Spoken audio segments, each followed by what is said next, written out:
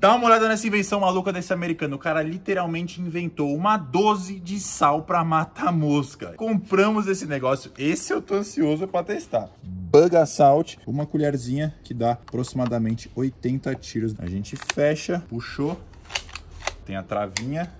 Isso aqui não corta a pele humana. É claro, não pode atirar no rosto nem nos olhos, né? Vamos começar a brincadeira.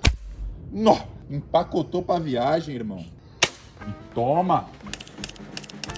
Bom, depois de 5 minutinhos, esse aqui foi o resultado da nossa caçada. É uma das invenções mais geniais que eu já vi. Testado e aprovadíssimo.